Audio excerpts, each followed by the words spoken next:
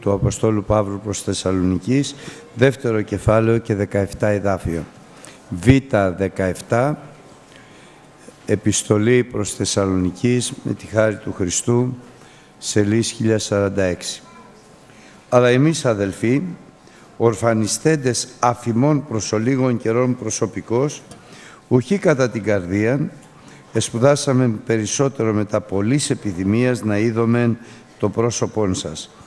Δια τούτο ηθελήσαμε να έλθουμε προς εσάς, εγώ μάλιστα ο Παύλος και άπαξ και δεις. Και εμπόδισε ημάς ο σατανάς, διότι η τύση ελπισιμών ή η χαρά ή ο Στέφανος Καυχήσεως ή ουχή κι εσείς έμπροσθεν του Κυρίου ημών Ιησού Χριστού εν την παρουσία αυτού, διότι εσείς είστε η δόξα ημών και η χαρά. Δια τούτο μη υποφέροντες πλέον, εκρίναμεν εύλογον να απομείνομεν μόνην εν Αθήνες και επέμψαμεν Τιμόθεον των αδελφών ημών και διάκονων του Θεού και συνεργών ημών εις το Ευαγγέλιο του Χριστού για να σας στηρίξει και να σας παρηγορήσει περί της πίστεώς σας για να μην κλονίζετε μηδείς εν τες θλίψεις ταύτες διότι εσείς εξεύρετε ότι εις τούτο είμαι θα τεταγμένη. Διότι ότι είμαι θα παροιμήν προελέγομεν προς εσάς ότι μέλομεν να υποφέρομεν θλίψεις καθώς και έγινε και εξεύρετε. Δια τούτο και εγώ μη υποφέρον πλέον, έπεμψα δια να μάθω την πίστη σας, μήπως σας επήρασε ο πειράζων και αποβεί εις μάτιν ο κόπος ημών. Ήδη δε, όταν ήλθεν ο Τιμόθεος από εσάς προς εμάς και έφερε προς εμάς καλάς αγγελίας περί της πίστεως και της αγάπης σας και ότι έχετε πάντοτε αγαθήν ενθύμηση ημών επιποθούντες να είδητε ημάς καθώς και εμείς εσάς, δια τούτο παρηγορήθημεν αδελφοί δια σας εν όλη τη θλίψη και στενοχωρία ημών δια της πίστεώς σας. Διότι τώρα ζώμεν εάν εσείς μένετε σταθεροί στον Κύριον. Επειδή την ευχαριστή αντινάμεθα να ανταποδώσουμε στον Θεόν δια σας, διόλην την χαρά την οποία χαίρομαι δια σας έμπροσθεν του Θεού ημών. Νύχτα και ημέρα δεόμενη, καθ' υπερβολή, να είδαμε το πρόσωπό σας και να αναπληρώσουμε τα σελήψεις της πίστεώς σας. Αυτός δε ο Θεός και Πατήρ ημών και Κύριος ημών Ιησού Χριστού ήθελε να κατευθύνει την οδόν ημών προς εσάς. Εσάς δε ο Κύριος να αυξήσει και να περισσεύσει εις την αγάπη προς αλλήλους και προς πάντας καθώς και εμείς περισσεύουμε προς εσάς δια να στηρίξει τα σκαρδία σας αμέμπτους εις την αγιοσύνη έμπροσθεν του Θεού και Πατρός ημών εν την παρουσία του Κυρίου ημών Ιησού Χριστού με τα πάντων των Αγίων αυτού. Αμήν. Ο Απόστολος Παύλος λοιπόν συνεχίζοντας την επιστολή του προς τους Θεσσαλονικείς λέει κάτι το οποίο είναι άξιον αν μη τι άλλο περιεργίας αλλά εντυπωσιακό κιόλας λέγοντας ότι εμείς φεύγοντας σας χάσαμε, χάσαμε το να βλέπουμε τα πρόσωπά σας, να συζητούμε, να συνομιλούμε και να χαιρόμαστε στην κοινωνία με τα με εσάς. Ε, όχι βέβαια, δεν φύγατε από την καρδιά μας, αλλά φύγατε από την κοινωνία. Γι' αυτό και αφού αισθανόμαστε ότι είμαστε ορφανοί από σας, δηλαδή σας χάσαμε και μας χάσατε, με θλίψη, γι' αυτό και πήρα μία απόφαση, αποφασίσαμε και θέλαμε να έλθουμε προς εσάς, ομολογεί δε και ο ίδιος ο Παύλος, μάλιστα εγώ ο Παύλος και μια φορά και δυο φορές προσπάθησα αλλά εμπόδισε ημάς ο σατανάς. Και το ερώτημα είναι, αδερφοί αγαπητοί, πολύ σοβαρό. Έχει εξουσία ο διάβολος να εμποδίσει τους δούλους του Θεού και τα παιδιά του Θεού να πράξουν αυτό το οποίο αποφασίζουν δεδομένου ότι τα παιδιά του Θεού, η Εκκλησία του Θεού έχει εξουσία να δένει και να επιτιμά το διάβολο και να τον διώχνει καθώς πολλά, πολλές φορές έπραξε ο Παύλος. Έχει τέτοια εξουσία και αν έχει πότε έχει και πώς μπορούμε να αποφύγουμε να δίνουμε τόπο στο διάβολο ώστε να αποκτά τέτοια εξουσία στη ζωή μας. Εκείνο που ξέρουμε με τα βεβαιότητος είναι ότι κάποτε όταν ο Απόστολος Παύλος μαζί με πολλούς αδελφούς συντρόφους του αποφάσισε να κηρύξει το Λόγο του Θεού στην Ασία, στη συνέχεια στη Μυσία και στη Βυθινία, το Πνεύμα το Άγιο τους εμπόδισε, το οποίο είναι κατανοητό. Γιατί εργάζονταν το έργο του Θεού δια Πνεύματος Αγίου και σαφώς ζήταγαν πάντοτε να τους οδηγεί ο Θεός στα βήματά τους. Αυτό λοιπόν είναι κατανοητό, είναι σωστό και όχι μόνο κατανοητό και σωστό, και σωστό και επιθυμητό. Θέλουμε το Πνεύμα το Άγιο να μας εμποδίζει, να κάνουμε αυτό το οποίο επιδιώκουμε, γιατί γνωρίζουμε πάρα πολύ καλά ότι ο Θεός ξέρει πολύ καλύτερα από μας πού πρέπει να πάμε, τι πρέπει να κάνουμε, τι πρέπει να λέμε και πού πρέπει να βρισκόμαστε και να στεκόμαστε. Και εμπιστευόμαστε το Θεό και την οδηγία του Πνεύματος του Αγίου, η οποία είναι βέβαια σύμφωνη και με το Λόγο του Θεού, όπου ο Θεός λέει μόνο όσοι διοικούνται από το Πνεύμα το Άγιο και μάλιστα το κείμενο το λέει ακόμη πιο καλά μόνο όσοι άγονται από το Πνεύμα το Άγιο αυτοί είναι παιδιά του Θεού. Είναι λοιπόν πολύ λογικό να εμποδιζόμαστε ή να οδηγούμεθα ή να κατευθυνόμαστε στο έργο του Θεού από το Πνεύμα το Άγιο. Πότε όμως αποκτά εξουσία ο εχθρός και μπορεί να μας εμποδίσει. Η απάντηση είναι στα λόγια του Αποστόλου Παύλου, ο οποίος εκφράζει την επιθυμία του και τη θέλησή του χωρίς να ρωτήσει το Θεό. Θελήσαμε να πάμε.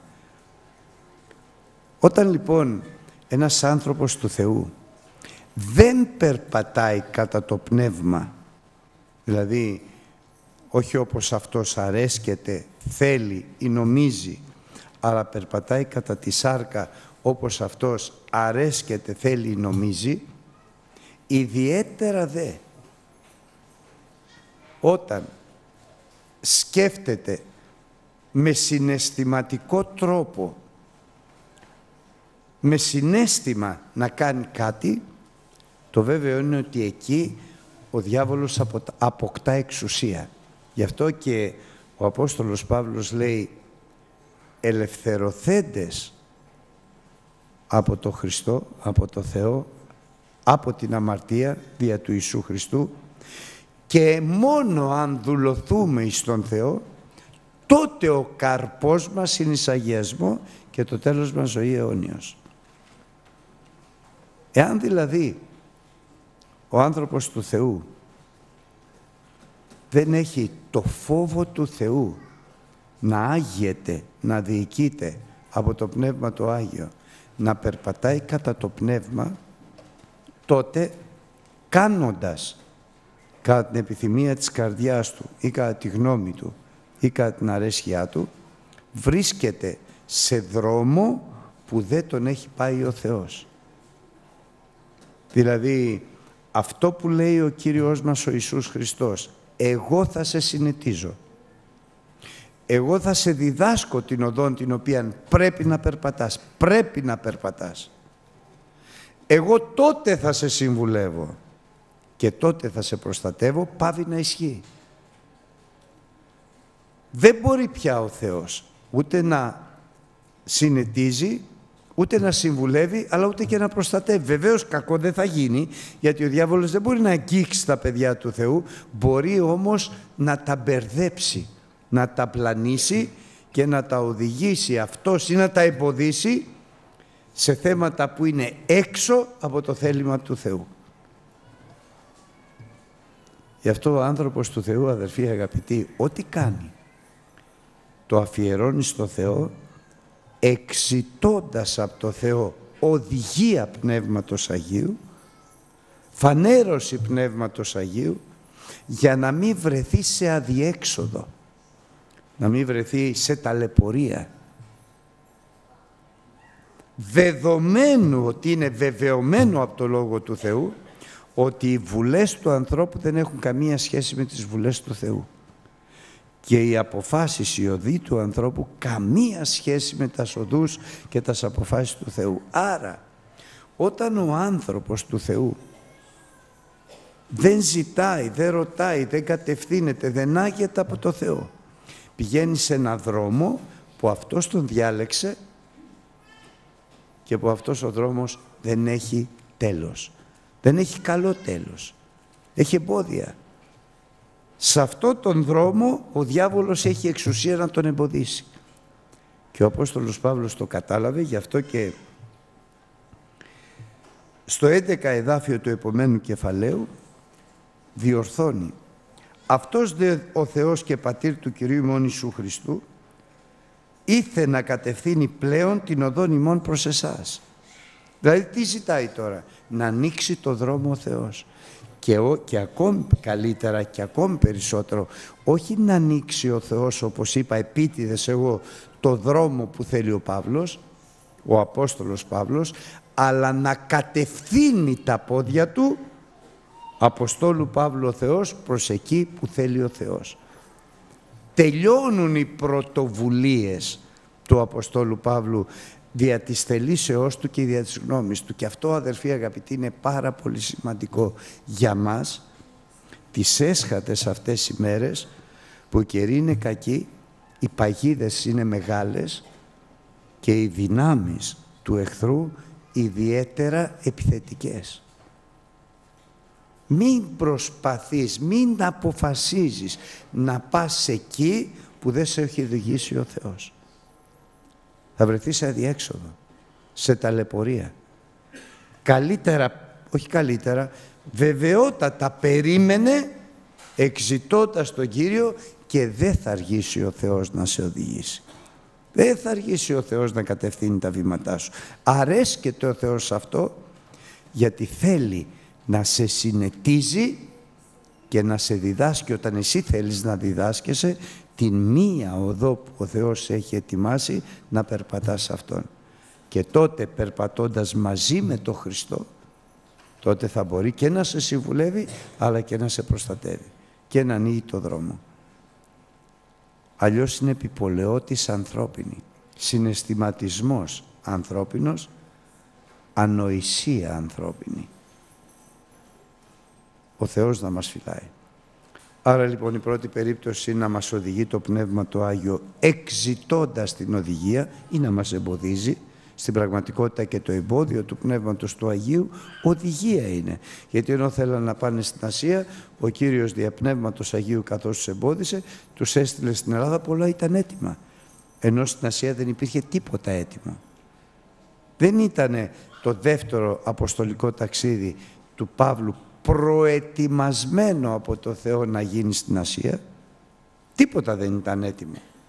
Προετοιμασμένο από το Θεό ήταν το δεύτερο αποστολικό ταξίδι να είναι στην Ελλάδα όπου είχε ετοιμάσει την καρδιά της Λιδίας, είχε ετοιμάσει τα πάντα ήταν έτοιμα για να τα περπατήσει ο Παύλος θριαμβευτικά. Και μετά από το δεύτερο ταξίδι καθώς τους οδήγησε ο Θεός πήγαν στην Ασία που πάλι τα πάντα ήταν έτοιμα γιατί είχε προηγηθεί ο Απολός που έσπηρε ώστε να πάει ο Απόστολος Παύλος να ποτίσει και ο Θεός να αυξήσει. Είναι πολύ σημαντικό αγαπημένα μου αδέλφια και για τον εαυτό μας και για την οικογένειά μας και για τα παιδιά μας και για τα αδέλφια μας όταν προσευχόμαστε να τους καλύπτουμε να μην είναι απροστάτευτοι. Παραδείγματος χάρη, μέσα στο σπίτι, σε μια οικογένεια, που υπάρχει ο άντρας, η γυναίκα και τα παιδιά ή ο μπαμπάς, η μαμά και τα παιδιά ή οτιδήποτε.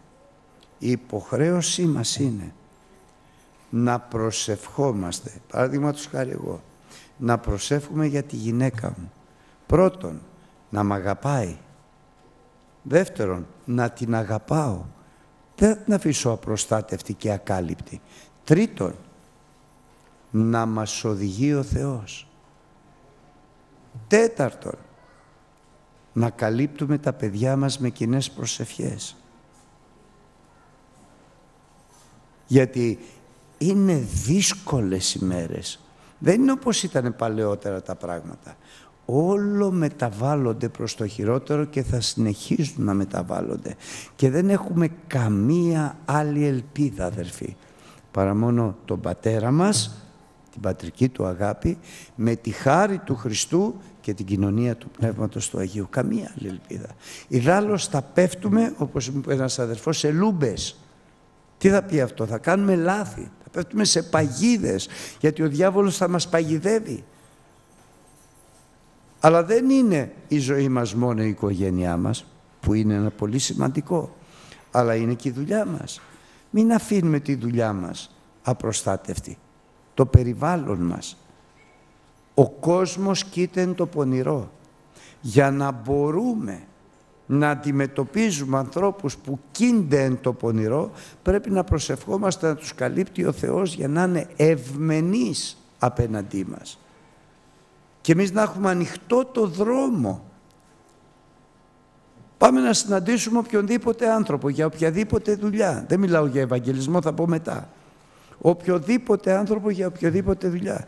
Μην πάμε μελετώντας και προγραμματίζοντας τι ακριβώς θα κάνουμε. Προσευχόμενοι θα προσευχηθούμε. Κύριε, κάνε ένα βροχάρι στα μάτια του. Κάλυψέ τον με την παρουσία σου. Διώξε το διάβολο που θα τον τσιγκλάει, θα τον, θα τον τρυπάει για να επιτεθεί σε μένα. Φέρε την ειρήνη σου. Και έτσι θα απολαμβάνουμε την αγάπη του Θεού. Και όταν απολαμβάνεις την αγάπη του Θεού και τα άγρια θηρία, λέει ο Λόγος του Θεού, θα τα ημερεύει ο Θεός για σένα. Και τα άγρια θηρία. Έξω ο κόσμος είναι άγρια θηρία. Γιατί όλος ο κόσμος, επαναλαμβάνω, κοίτα είναι το πονηρό. Τους, όταν σε βλέπει ο διάβολος και φέγγεις με το φως του Χριστού, ορίεται, ζηλεύει. Και τι θα κάνει; Είναι λογικό θα πρέπει να ξεσηκώσει άγρια θηρία εναντίον σου. Είτε όταν λέω άγρια θηρία εννοώ ανθρώπους. Άγρια θηρία εναντίον σου πώς θα τα αντιμετωπίσεις. Δεν μπορείς. Μόνο αν υπάρχει κάλυψης του Πνεύματος του Αγίου, της προσευχής σου, της παρουσίας του Θεού, θα βρίσκεις χάρη, ταπεινά βέβαια, ενώπιον Θεού και ανθρώπων, που είναι το ζητούμενο. Να βρίσκουμε χάρη. Και τι θα πει να βρίσκω χάρη, σου δίνει σοφία ο Θεός. Σου δίνει σύνεσα, σου δίνει λόγια, να σου δίνει δύναμη. Να είναι ο Θεός μαζί σου. Να σε καλύπτει, να επιτιμάει το διάβολο, να διώχνει τα πνεύματα της πονηρίας. Να δένει το διάβολο, να είσαι ελεύθερος. Αδελφοί αγαπητοί, ο, ο Κύριος μας ο Ιησούς Χριστός το έλεγε απ' αρχής, τώρα είναι ακόμη πιο έντονο. Αγρυπνείτε, προσεύχεστε και προσέχετε. Γιατί; Για να μην εισέλθετε σε πειρασμό. Πιο καθαρά δεν μπορεί να το πει ο Χριστός, μόνο να το καταλάβουμε. Οι πειρασμοί είναι σε κάθε βηματισμό μας. Και μην νομίζετε ότι οι πειρασμοί είναι μόνο έξω στον κόσμο και μέσα στην Εκκλησία ο Θεός να μας βοηθάει και θα μας βοηθάει αν είμαστε άγρυπνοι, προσεκτικοί και προσευχόμενοι πάντοτε στο όνομα του Χριστού προς τον Πατέρα δια Πνεύματος Αγίου. Όταν ξεκινάς το πρωινό, ξέρεις τι ημέρα είναι ετοιμασμένη. Εγώ θέλω να είναι οι μέρες μου όλες ετοιμασμένες από το Θεό. Δεν θέλω να πηγαίνω στην τύχη κουτουρού. Τι θα κάνω τώρα που θα πάω τώρα, τίποτα. Από τα πιο μικρά μέχρι τα πιο μεγάλα τα φροντίζει ο Θεός. Αλλά όταν του το ζητάς, ετείτε για να σας δοθεί. Ζητείτε και θα βρείτε, κρούετε και θα σας ανοιχτεί.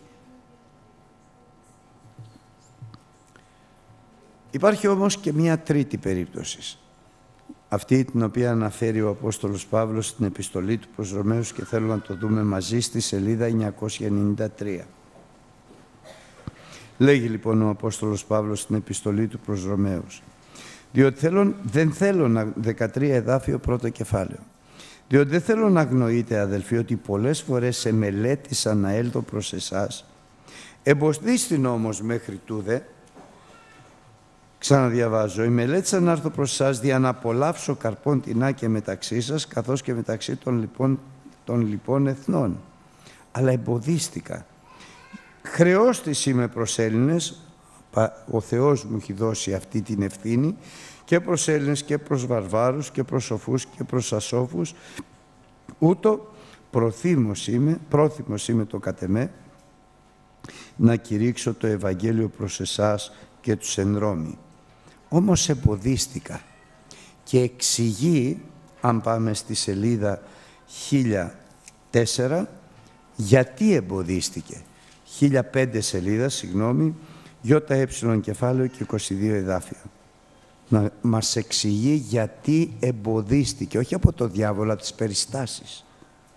Και λέει, δια τούτο και εμποδιζόμην, όπως είπε στην αρχή στο πρώτο κεφάλαιο εμποδίστηκα, πολλάκις να έρθω προς εσάς.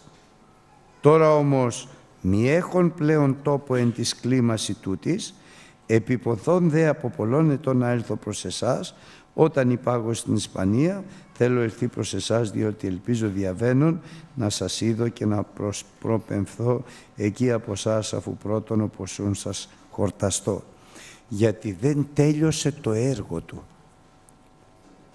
Δηλαδή, εμποδίζεται από τον Θεό γιατί έπρεπε να παραμείνει εκεί που ήταν την επιστολή του προς Ρωμαίος ο Απόστολος Παύλος τη γράφει από την Κόρινθο πάλι, να παραμείνει στην Κόρινθο και τι λέει στην Κόρινθο; Τον επισκέφτηκε ο Θεός και του λέει μη φοβάσαι, εγώ θα είμαι μαζί σου. Και έμεινε ένα μισή χρόνο. Ήθελε να πάει και στη Ρώμη και μετά και άλλο. Αλλά πότε μπορεί να πάει τώρα, όπως το ξαναδιαβάζω, μη έχουν πλέον τόπον εν, εν της κλίμαση ταύτης, σε αυτό τον τόπο, μη έχω πλέον κλίμα, μην έχω πλέον λόγο να κάτσω σε αυτόν τον τόπο, επιποθώ δε προπολώνε τον άρθρο, αλλά δεν μπορούσα, γιατί εδώ με ήθελε ο Θεός, εδώ ήταν η δουλειά μου και έμεινα εδώ, τώρα όμως που ελευθερώθηκα γιατί τέλειωσα το έργο αυτό, τώρα μπορώ να έρθω και δεν θα με εμποδίσει τίποτα. Είναι λοιπόν τρεις περιπτώσεις που εμποδίζει ο Θεός. Για να κάνουμε αυτό που θέλει ο Θεός και να μην κάνουμε αυτό που δεν θέλει ο Θεός. Το πρώτο είναι το Πνεύμα το Άγιο που εμποδίζει με οδηγία Πνεύματος Αγίου. Το δεύτερο πράγμα είναι ο διάβολος όταν πάμε να κάνουμε ό,τι θέλουμε χωρίς να ρωτάμε το Θεό. Γιατί ο Θεός τι θέλει; Εγώ θα σε στείλω να πας σε όλους όσους εγώ σε στέλνω. Εκεί που εγώ σε στέλνω θα πηγαίνεις όταν εγώ σε στέλνω θα πηγαίνεις και θα λες αυτά τα οποία εγώ σε διδάσκω να πεις. Εάν δεν έχει αυτή τη λογική ο άνθρωπος του Θεού, αλλά λέει ξέρω πού θα πάω, τι θα κάνω, εκεί πια η ζωή του ταλαιπωρείται από τα εμπόδια του διαβόλου και δεν είναι απλό πράγμα να σε εμποδίζει ο διάβολος. Γιατί; Γιατί όταν σου κλείνει ο διάβολος την πόρτα ή το δρόμο, πας εκεί που δεν πρέπει να πας. Κάνεις αυτά που δεν πρέπει να κάνεις. Και τα πράγματα θα γίνονται όλο και πιο χειρότερα. Και η τρίτη περίπτωση είναι όταν πρέπει να τελειώσουμε το έργο μας. Όπως λέει ο Απόστολος Παύλος, τον αγώνα των καλών ηγονίστην, το δρόμο μου τον τελείωσα. Την πίστη μου τη διατήρησα, τώρα δεν μου μένει παρά της δικαιοσύνης Στέφανος. Να το πω λίγο πιο απλά για να γίνει κατανοητά, κατανοητό. Όταν μία μητέρα έχει υποχρέωση να διαβάσει τα παιδιά της, δεν πάει πουθενά αλλού. Λέει τώρα από τις δύο μέχρι τις τέσσερις θα διαβάσουμε. Δεν φεύγει, εμποδίζεται να φύγει. Πρέπει να τελειώσει, λέω παραδείγματος χάρη. Όταν ένας άνθρωπος έχει δουλειά και δουλεύει 8-10 ώρες, Θέλει να έρθει στην εκκλησία, αλλά δεν μπορεί. Έχει υποχρέωση. Ή όταν ένας αδελφός είναι στην εκκλησία. Πρέπει να είναι στην εκκλησία. Δεν κάνει ό,τι θέλει. Δεν λέει αύριο έχω εκκλησία αλλά δεν θα πάω γιατί θα... Δεν πάει, εμποδίζεται. Εμποδίζεται μέσα στην καρδιά του, δεν τον εμποδίζει κανείς. Αλλά η υποχρέωσης, το καθήκον, η αποστολή του. Ο Θεός να μας φυλάει, αδερφοί αγαπητοί, πάντοτε να διοικούμεθα από το Πνεύμα το Άγιο. Γιατί, γιατί τότε ο Θεός και Πατέρας του Κυρίου Mon Ιησού Χριστού θα κάνει μας πάντοτε να θριαμβεύουμε δια του Ιησού Χριστού. Σε κάθε άλλη περίπτωση, όταν δεν αγόμεθα από το Πνεύμα το Άγιο, δεν θα έχουμε θρίαμβο. Δεν θα έχουμε νίκες. Μάλλον αδιέξοδα, μάλλον αποτυχίες, μάλλον απογοητεύσεις. Να λοιπόν τώρα γιατί στη ζωή μας κάποια πράγματα δεν μας βγαίνουν. Λέμε θα κάνω αυτό και δεν γίνεται. Και κάποια πράγματα γίνονται σχεδόν από μόνα τους. Γιατί δεν έχουμε την εύνοια του Θεού, την οδηγία του Θεού, τη διαταγή του Θεού. Αποφασίζουμε μόνοι μας και με τα πάσης βεβαιότητος όταν ο άνθρωπος, ιδίως ο άνθρωπος του Θεού, έξω δεν το λογαριασμό όλοι αποτυχημένοι είναι, κατεστραμμένοι είναι, προσωπικά, οικογενειακά και όσο χειροτερεύουν τα πράγματα επαγγελματικά και όλο πιο δύσκολα θα γίνονται τα πράγματα. Προχτές γνώρισα έναν άνθρωπο ο οποίος είχε λέει 300 επιχειρήσεις, καταστήματα, δουλειές σε όλη την Ευρώπη. Και σήμερα είναι στο μηδέν. Πολύ μορφωμένος, πολύ έξυπνος άνθρωπος. Πώς έγινε αυτό; Δεν ξέρω, μου λέει, έγινε. Αδερφοί αγαπητοί, να προσέχουμε. Δεν είναι καιρός να κάνουμε λάθη. Ποτέ δεν είναι κατάλληλος καιρός για λάθη. Όσο περνάει ο καιρός όμως, τόσο είναι πιο δύσκολα τα πράγματα. Και τα λάθη θα γίνονται όλο και πιο επώδυνα, οι συνέπειες των λαθών. Και το Πνεύμα το Άγιο εργάζεται πιο έντοξα τις έσχατες ημέρες για να μην θεωρήσουμε ότι δεν θα μας κατευθύνει. Το Πνεύμα το Άγιο θα σε κατευθύνει αρκεί να το επιθυμήσεις και να το εξητήσεις.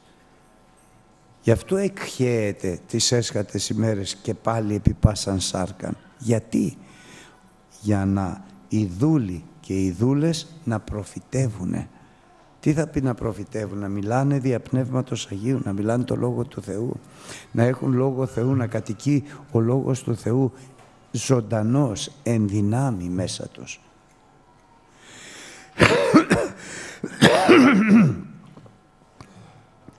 Εκείνο δε που ο Απόστολος Παύλος χαίρεται είναι για αυτούς τους αδελφούς τους οποίους ακούει, μαθαίνει ότι ο Λόγος του Θεού επειδή δέχονται το Λόγο του Θεού σαν Λόγο Θεού ενεργεί ανάμεσά τους. Και αυτό αδερφοί αγαπητοί είναι και το κρίσιμο σημείο. Ενεργεί ο Λόγος του Θεού στη ζωή σου. Τι θα πει ενεργεί; Λέει και γίνεται. Πολύ σοβαρό αυτό. Λέει ο Λόγος του Θεού ότι εγώ θα είμαι μαζί σου, είναι. για να ενεργεί ο Λόγος του Θεού στη ζωή σου, πρέπει να είσαι βέβαιος και να πιστεύεις ότι είναι Λόγος Θεού. Εάν υπάρχει αμφιβολία, μην νομίζει αυτός ο οποίος λέει και δεν λέει, είναι δίγνωμος και αμφιβάλλει και διστάζει ότι θα λάβει τίποτα από το Θεό. Ο άνθρωπος του Θεού περπατάει με τη βεβαιότητα της πίστης στο Λόγο του Θεού και στη φωνή του Πνεύματος του Αγίου. Τότε και γι' αυτό ο Απόστολος Παύλος είναι πολύ χαρούμενος με την Εκκλησία των Θεσσαλονικαίων. Ενεργείται ο Λόγος του Θεού γιατί δέχεστε το Λόγο του Θεού σαν Λόγο Θεού καθώς είναι. Και επαναλαμβάνω, γι' αυτό τις έσχατες ημέρες εκχέει ο Θεός το Πνεύμα το Άγιο στους δούλους και τις δούλες. Γιατί; Για να μιλάνε λόγια Θεού, για να προφητεύουνε. Δεν μπορείς να λες τη γυναίκα σου, παραδείγματος χάρη, ή αδελφή στον άντρα σου, πότε ναι και πότε όχι. Το ναι είναι ναι. Και το όχι πρέπει να είναι όχι. Πότε όμως είναι, αν είναι Λόγος Θεού. Αν κατοικεί ο Λόγος του Θεού μέσα μας πλουσίως δια Πνεύματος Αγίου. Αφού λοιπόν τα περιέγραψε όλα αυτά ο Απόστολος Παύλος, συνεχίζει κάτι πάρα πολύ ακόμη σημαντικό για τους αδελφούς του στην Θεσσαλονίκη, ενώ είχε κατεβεί μετά από λίγο χρόνο στην Κόρινθο. Δια τούτο, μη υποφέροντας πλέον να μας λείπετε και να μην ξέρουμε για σας, έχει αγωνία. Δεν έχει αγωνία για τα παιδιά του, για τη γυναίκα του, έχει αγωνία για τα αδέλφια του. Και ακούστε και πώς εκφράζει την αγωνία του. Δια τούτο μη υποφέροντας πλέον εκρίναμε εύλογο να απομείνουμε μόνοι στην Αθήνα και επέμψαμε τον Τιμόθεο των αδελφών ημών και διάκονων του Θεού και συνεργών εις το Ευαγγέλιο του Χριστού σε εσά δια να σας στηρίξει, να σας παρηγορήσει και να σας ενισχύσει. Ποιος μπορεί να το κάνει αυτό; Να στηρίζει, να παρηγορεί και να ενισχύει. Ο καθένας; Όχι.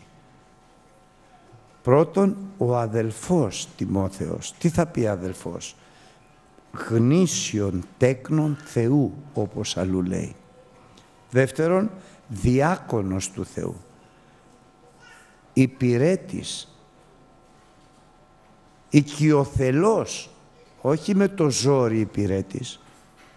Ελεύθερος όν εδούλωσε τον εαυτόν του στον Θεό. Για να μπορείς να είσαι χρήσιμος στον αδελφό σου, στην οικογένειά σου, στους ανθρώπους, το απαραίτητο είναι πρώτον να είσαι γνήσιο τέκνο Θεού, αδελφός καλός, όχι σκανδαλιάρης, όχι προβληματικός, όχι να δημιουργείς προβλήματα μέσα στην εκκλησία και μέσα στα αδέλφια σου, με τις ανοησίες ή με το ζήλο σου ή με, το, με οτιδήποτε. Δεν είσαι χρήσιμος μετά. Δεν μπορείς ούτε να στηρίξεις, ούτε να ενθαρρύνεις, ούτε να ενισχύσεις. Να παρηγορήσεις. Πρώτον λοιπόν γνήσιον τέκνον Θεού, αληθινός αδελφός. Δεύτερον, διάκονος του Θεού, δούλος του Θεού, οικειοθελός. Και τρίτον, ίσως, όχι, θα έλεγα ίσως και σημαντικότερο, συνεργός ημών. Τι θα πεις συνεργός, συνεργάτης. Ξέρετε τι θα πεις συνεργάτης; Ένα. Ο Παύλος θεωρεί ότι ο Τιμόθεος είναι ένα μαζί του. Δεν είναι ομόψυχος απλώς. Είναι ισόψυχος του Παύλου. Δεν είναι κάποιος σαν το Λότ που, που περπατούσαν μαζί, συμπορεύονταν με τον Αβραάμ και όλο ό,τι θέλει τα δικά του. Ο Αβραάμ τον ήθελε, αλλά ό,τι θέλει τα δικά του. Ήταν συνεργός, συνεργάτης, ένα, ισόψυχος. Δεν ζητούσε τα δικά του, ζητούσε τα του Ιησού Χριστού. Γι' αυτό ο Απόστολος Παύλος τον εμπιστεύεται να τον αποστείλει γιατί ένας τέτοιος άνθρωπος μόνο είναι κατάλληλος να στηρίξει τους Θεσσαλονικείς, να τους παρηγορήσει στην πίστη τους, να μένουν στην πίστη και να τους δίνει δύναμη να μην κλονίζονται στις ταλαιπωρίες τους. Επαναλαμβάνω, ποιος είναι ο κατάλληλος άνθρωπος τον οποίον εμπιστεύεται ο Απόστολος Παύλος και ο Θεός; Το γνήσιο τέκνο Θεού. Και ποιος είναι το γνήσιο το τέκνο Θεού; Αυτός που περπατάει σε αγιασμό σώματος, ψυχής και πνεύματος. Μπορεί να στείλει έναν άνθρωπο ο οποίος περπατάει όπως θέλει. Δηλαδή δεν νοιάζεται καθόλου για το σώμα του, για την ψυχή του, για την εικόνα του. Ξεχνώντας ότι ο Χριστός είναι εικόν του Θεού του αοράτου. Και ο άνθρωπος πρέπει να είναι εικόν του Χριστού. Πρέπει να μοιάζει του Χριστού. Δεν μπορώ εγώ να στείλω τον αδελφό αυτό που έχει σκουλαρίκια, που έχει μαλλιά, που το τίσιμό του είναι απρεπές. Ποιος να τον εμπιστευτεί; Ούτε ο Απόστολος Παύλος, ούτε ο Θεός, αλλά ούτε και αυτός σε αυτούς που τους αποστέλνει. Είναι ένα αξιόπιστο πρόσωπο. Ή οι επιθυμίες της καρδιάς του δεν είναι σύμφωνες με το θέλημα του Θεού. Δεν έχει καρδιά κατά την καρδία του Θεού ώστε να πράττει κατά το θέλημα του Θεού, τα θελήματα του Θεού. Αλλά η καρδιά του είναι καρδιά ανθρώπινη που θέλει τα δικά της. Πώς να τον εμπιστευτεί ο Θεός; Πώς αυτός θα κάνει έργο Θεού πραγματικά προς οικοδομή. Δεν θα κάνει. Και τρίτον, πρέπει να είναι καλός αδελφός και ως προς το πνεύμα. Κάνει ό,τι νομίζει. Δεν έχει αλαζονία, δεν έχει περηφάνεια. Έχει ταπεινοφροσύνη.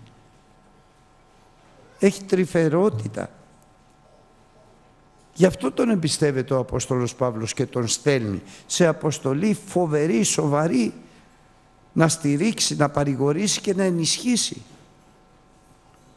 Και δεν είναι μόνο ο αδελφός καλός, καλός αδελφός που τον βλέπεις σώμα, ψυχή και πνεύμα, καλοί αδελφοί. Τους βλέπεις, τους ξέρεις και στο σώμα και στην ψυχή και στο πνεύμα. Αλλά είναι και διάκονος, είναι και δούλος. Δεν είναι αφεντικό. Είναι δούλος. Είναι σύνδουλος. Έχει κύριο. Δεν κάνει ό,τι θέλει, ό,τι νομίζει ρωτάει και τέλος είναι συνεργός, είναι ένα με τον Παύλο, ισόψυχος. Δεν πάει να πει άλλα από αυτά που θα έλεγε ο Παύλος. Όταν τον στέλνει ο Απόστολος Παύλος ξέρει ότι αυτά που θα πει ο Τιμόθεος θα είναι αυτά που θα έλεγε ο Παύλος και θα, αυτά που θα έλεγε ο Παύλος είναι αυτά που λέει ο Χριστός. Για σκεφτείτε, άλλα να λέει ο Χριστός, άλλα ο Παύλος, άλλα ο Τιμόθεος. Βαβέλ. Ποιος να εμπιστευτεί ποιον και για ποιο λόγο. Και το αποτέλεσμα ούτε στηρίζει, ούτε παρηγορεί, ούτε ενισχύει. Μάλλον κλονίζει, μάλλον απογοητεύει και μάλλον μικροψυχεί τους ανθρώπους. Γι' αυτό ο Απόστολος Παύλος δεν κάνει λάθος. Και τι λέει; Θα αποφασίζω να μείνω μόνος μου, μόνοι μας. Δηλαδή μου λείπει ο Τιμόθεος. Θα μας λείψει ο Τιμόθεος. Αλλά επειδή σας αγαπάμε, σας τον στέλνουμε για να σας ωφελήσει. Και για να το καταλάβουμε καλά, καταλαβαίνεις πόσο σημαντικό είναι να σου λείψει η γυναίκα σου. Είχε πάει στην Αυστραλία, έχω καλά παιδιά, αλλά μου λείπει η γυναίκα μου. Και αν φύγει ένας αδερφός καλός μου λείπει. Αν φύγει κάποιος άλλος λέω δεν βαριέσαι εντάξει έτσι κι αλλιώς δεν έκανε και τίποτα. Ο Θεός να μας φυλάει αδερφοί, να μας κάνει όλους ο Θεός χρήσιμους. Γι' αυτό τα λέμε. Γι' αυτό μας τα λέει ο Λόγος του Θεού. Για να ζηλέψουμε με ζήλια καλή, πνευματική. Γιατί υπάρχουν χρήσιμοι αδερφοί, πολύ χρήσιμοι αδερφοί, αδιάφοροι αλλά και επικίνδυνοι. Σκεφτείτε να λέω εγώ κάτι στα παιδιά και να πηγαίνει η Άννα και να τους λέει μην την ακούτε το Γιώργο, εγώ θα σας πω τι θα κάνετε. Διαλύθηκε η οικογένεια. Ή να κηρύττω εγώ από πάνω και να λένε από κάτω μην τον ακούς μωρέ, άστα αυτά που λέει. Εγώ θα σου πω τι θα κάνεις. Πάει η εκκλησία. Πρέπει να είμαστε του αυτού πνεύματος, του αυτού φρονήματος. Να ζητάμε τα του Χριστού και όχι τα, τον τα του εαυτού μας τα του Θεού και όχι τα του κόσμου. Και πώς θα το κάνουμε αυτό, πάρα πολύ εύκολα. Με ταπείνωση και με κοινωνία μεταλλήλων. Να κουβεντιάσουμε. Πριν βγάλεις απόφαση, έλα να κουβεντιάσεις. Πριν βγάλω απόφαση, έλα να τα πούμε λίγο. Και τι ωραία που είναι αδερφοί, τι ωραία που εργάζεται ο Θεός και το λέω και καφιέμαι στο Χριστό μέσα στο πρεζιτέριο. Είμαστε 24 άνθρωποι με διαφορετικές γνώμες. Τις λέμε. Αλλά δεν τις επιβάλλουμε. Τις κουβεντιάζουμε. Και μετά από μία, δύο, τρεις ώρες συζήτηση, ξέρετε τι γίνεται, έχουμε μια γνώμη όλοι. Είναι ένα θαύμα αυτό. Μια γνώμη όλοι. Όχι τη γνώμη του Τάδε ή του Δίνα, τη γνώμη του Χριστού. Μια συζήτηση είναι τα πράγματα, με ταπεινό πνεύμα με φρόνηση, με σοφία. Γι' αυτό θέλει ο Απόστολος Παύλος και εμπιστεύεται το συνεργάτη του, το συνεργό του. Όχι έναν στην τύχη. Σήμερα θα πάει αυτός, αύριο θα πάει. Όχι στην τύχη. Γιατί αν στείλει κάποιον θα γκρεμίσει. Όχι δεν θα στηρίξει, όχι δεν θα παρηγορήσει, ούτε θα ενισχύσει. Αντίθετα θα τα κάνει. Όμως ο καλός αδερφός, ο δούλος του Θεού, αποδεδειγμένα αυτό, μέσα από τη ζωή, μέσα από την πραγματικότητα. Και ο καλός συνεργάτης είναι χρήσιμος. Τον εμπιστεύεται ο Παύλος, ο Απόστολος, τον εμπιστεύονται οι αδελφοί, τον εμπιστεύεται και ο Χριστός. Γι' αυτό και τον στέλνει, με λύπη του θα του λείψει, αλλά είναι βέβαιος ότι θα έχει καλό αποτέλεσμα, γιατί σε αυτό είναι τεταγμένος και ο Τιμόθεος και ο Παύλος. Σε αυτό είμαστε τεταγμένοι, σε αυτό. Αυτή είναι η δουλειά μας. Αυτή είναι η δουλειά μας. Διότι ότε είμαι θα παροιμήν, προλέγαμε προς εσάς ότι μέλουμε να υποφέρουμε θλίψεις καθώς και έγινε, καθώς εξέβρετε. Δηλαδή, μην περιμένετε αδελφοί να είναι όλα καλά, όλα χαρούμενα. Δεν θα είναι. Στον κόσμο υπό ο Χριστός να τα βεβαιότητας θα έχετε θλίψεις. Πλην μη φοβήστε από τις θλίψεις. Μη φοβήστε από τους καταθλίβοντάς σας. Εγώ ενίκησα λέει ο Χριστός και εσείς θα νικήσετε. Πώς; Αυτή είναι η νίκη, η νικήσασα τον κόσμο. Η πίστη σας στο Ευαγγέλιο του Χριστού, αλλά και η πίστη σας στα αδέλφια σας, στην Εκκλησία. Δεν είναι να κακολογούμε, είναι να διορθώνουμε. Δεν είναι να κρίνουμε και να κατακρίνουμε. Είναι να καταρτίζουμε ο ένας τον άλλον. Γιατί ο ένας είναι φύλακας του άλλου. Για να είμαστε αξιόπιστοι στο Θεό, το σημαντικότερο από όλα, να, να μας βλέπει ο Θεός και να λέει βρήκα ένα δούλο που η καρδιά του είναι κατά την καρδιά μου, τον εμπιστεύομαι γιατί θα κάνει τα θελήματά μου. Και να βλέπεις και άλλο δούλο και να τον βάζεις δίπλα, τον ίδιο, κατά την καρδία του Θεού. Και άλλον, και άλλον, και άλλον, και άλλον. Μα πού θα τους βρει όλους αυτούς; Αδερφοί, δεν είναι να βρει τέλειους, είναι να καταρτήσεις τελειότητα ο Θεός. Και πώς μας διδάσκει ο Θεός, τον έναν με τον άλλον. Πώς μας καταρτίζει ο Θεός, τον έναν με τον άλλον.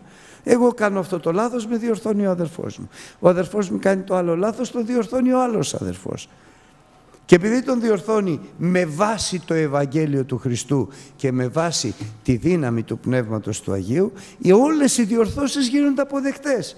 Και έτσι μένει, φεύγουν τα λάθη και μένουν τα σωστά. Σκεφτείτε μια τέτοια οικογένεια, αδερφοί. Σκεφτείτε μια τέτοια οικογένεια. Ενώ το αντίθετο. Άννα δεν μ' ακούς σου κόψω καμία. Ε, εκεί δεν βγαίνει αδερφοί. Δεν βγαίνει καλό. Δεν μπορεί να βγει καλό. Ούτε με απειλές, ούτε με προκλήσεις, ούτε με προσβολές, ούτε με εξουθενήσεις, αλλά με πνεύμα ταπεινού, με καρδιά συντετριμένου και τρέμονται στο Λόγο του Θεού, θα τα βρούμε. Ξέρετε γιατί. Γιατί έχουμε πνεύμα Θεού. Μα επειδή έχουμε πνεύμα Θεού θα τα βρούμε. Αμήν αδερφοί.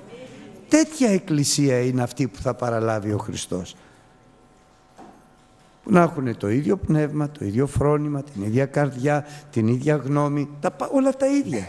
Όχι με επιβολή. Εγώ θα σας πω τι θα κάνετε και εσείς θα υποταχθείτε όλοι σε μένα. Κανένας δεν υποταχθεί. Θα λακίσετε. Ένας από εδώ και άλλος από εκεί θα πηγαίνει. Με τρελό μπλέξαμε θα λέει. Όταν όμως πραγματικά με βάση το Ευαγγέλιο του Χριστού με ένα χαρακτήρα καλό, γλυκό, τρυφερό, με πατρική αγάπη που έχει ο Πατέρας μας, με χάρη που έχει ο Χριστός μας και με κοινωνία αγάπης που έχει το Πνεύμα το Άγιο, όλα τακτοποιούνται. Όλα τακτοποιούνται και όλοι γινόμαστε ένα. Γι' αυτό και ο Χριστός τι λέει Πατέρα, κάμε σε παρακαλώ αυτή να είναι όλοι ένα. Γίνεται, πώς δεν γίνεται; Πώς δεν γίνεται; Δεν γίνεται να είμαστε ένα. Αστειεύεστε. Το πιο εύκολο είναι. Αρκεί να ταπεινωθούμε και να προσευχόμαστε και να θέλουμε όλη τη δικαιοσύνη του Θεού, τη χάρη του Χριστού και την κοινωνία του Πνεύματος του Αγίου. Και η ενότητα αυτή αρχίζει από την οικογένεια, προχωράει στην Εκκλησία και επεκτείνεται στη Βασιλεία των Ουρανών. Γι' αυτό λέει και ο Απόστολος Παύλος, οι θλίψεις, μη στεροχωριόσαστε, θα έχουμε, αλλά θα είμαστε νικητές. Δια τούτο και εγώ επειδή ξέρω ότι έχετε θλίψεις, ξέρει ο Παύλος ότι έχουν θλίψει στη Θεσσαλονίκη, ξέρει, ξέρει τους διωγμούς, τις ταλαιπωρίες. Μήπως εμείς δεν ξέρουμε ένας τις θλίψεις του άλλου, αδερφοί. Δεν ξέρουμε τις αρρώστιες, την ανεργία, τη φτώχεια, την ταλαιπωρία. Δεν τα ξέρουμε αυτά. Ή δεν ενδιαφερόμαστε να τα μάθουμε; Ή δεν ενδιαφερόμαστε να επέμβουμε; Παρά μόνο θέλουμε να δέρνουμε, να βαράμε και να κρίνουμε και να διορθώνουμε και να γινόμαστε και δάσκαλοι όλοι, ε, τότε δεν είμαστε άχρηστοι. Είμαστε χρήσιμοι στο Θεό. Και τι λέει τώρα ο Απόστολος Παύλος τόσο γλυκά; Δια τούτο και εγώ μη υποφέρω να ακούω για τις θλίψεις σας. Λυπάμαι που θλίβεστε. Σας πλαχνίζομαι, σας αγαπάω προσεύχομαι θα δούμε παρακάτω που, που θλίβεστε και σας καταθλίβουνε. Δια τούτο λοιπόν και εγώ μη υποφέρον έστειλα τον ισόψυχο Τιμόθεο γιατί μήπως σας επήρασε μέσα στις θλίψεις σας, στις αδυναμίες σας και στις ασθένειές σας ο πειράζων και αποβεί μάτιν ο κόπος μου. Φοβάσαι μη, βέβαια, άμα είναι σε θλίψη, άμα είναι σε ταλαιπωρία, αν είναι σε δυσκολία, βρίσκει τόπο ο διάβολος. Γιατί, γιατί ο άνθρωπος αποκάμει. Ο άνθρωπος θυμώνει, τα βάζει με τους άλλους, κρίνει τους άλλους. Εκεί βρίσκει τόπο ο διάβολος και πειράζει. Και αν πειράξει και αν έρθει πειρασμός του διαβόλου, υπάρχει γκρέμισμα μετά. Γι' αυτό και ο Απόστολος Παύλος λέει, φοβάμαι, μη τυχόν σας επήρασε αυτός που αυτή τη δουλειά κάνει, ο πειράζων. Ο διάβολος τι κάνει, δεν μπορεί να κάνει τίποτα άλλο παρά να σε πειράξει. Να σου πετάξει ένα βέλος πεπειρωμένο, μια κατηγόρια, μια ψεύτικη, γιατί είναι ψεύτης, πατήρ του ψεύδος, πληροφορία. Αδερφοί αγαπητοί, θυμάμαι που έλεγε ο αδερφός ο Λούις και μου έχει μείνει ξεχωριστό μες στην καρδιά. Από αυτά που ακούς, αδερφέ, μην πιστεύεις τίποτα. Και από αυτά που βλέπεις, τα μισά το πολύ να πιστεύεις. Γιατί, γιατί ξέρει, έχει τρόπο ο διάβολος να λέει ψέματα. Εμείς μόνο το Χριστό πιστεύουμε. Αμήν αδερφοί. Ό,τι και να σας πούνε για οποιονδήποτε αδερφό, μην το πιστέψετε. Μην πιστεύετε. Ψεύτης είναι αλλά και αν λέει αλήθεια να προσευχηθούμε ο Θεός να τα διορθώσει.